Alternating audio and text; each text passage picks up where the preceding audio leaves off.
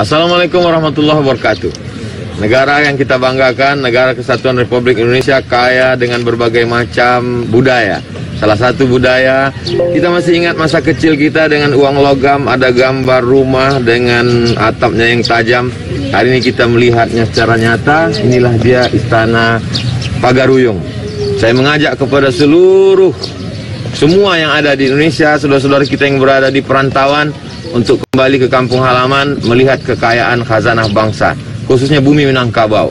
Dan sana Ambon dan ada di perantauan, datanglah bawalah anak kemanakan awak untuk melihat pada budaya. Saya sendiri banyak hal yang tidak saya ketahui, tapi setelah saya naik ke atas, bagaimana tangganya yang kecil ternyata ada sesuatu nilai filosofi yang bermakna luar biasa. Bagaimana anak gadis turun dari atas, kakinya miring, ada sopan santun, tata kerama, berbudaya, mengerti. Kita bisa bangun jembatan yang hebat, megah, bangunan yang luar biasa. Tapi ada sesuatu yang tidak bisa dibangun, diwujudkan cepat dan nyata. Orang Jepang kalau anaknya tidak bisa matematika, tidak bisa bahasa Inggris, dia tidak terlalu pusing. Tapi kalau anaknya tidak bisa ngantri, baru dia pusing. Kenapa? Ada etika, moral, akhlakul karimah. Datang ke Istana Pagaruyung bukan sekedar melihat, tapi banyak pelajaran yang bisa kita petik. Di sebelah kanan kita melihat ada surau. Orang Minangkabau tidak pernah lepas dari surau, mengabdi, menjadi hamba Allah Subhanahu wa taala. Di sebelah kiri kita lihat ada rangkiang. Apa maknanya?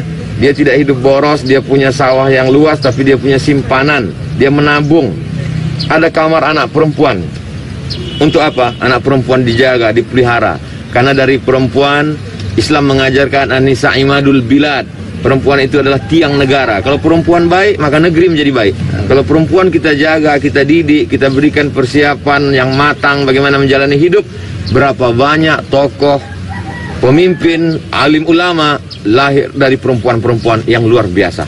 Apa yang saya sampaikan hanya 0, sekian persen dari kekayaan khazanah budaya Minangkabau. Datang, rasakan, lihat, perhatikan, pulang, bawa oleh-oleh akhlakul karimah. Adat Basandi Sarak, Sarak Basandi Kitabullah.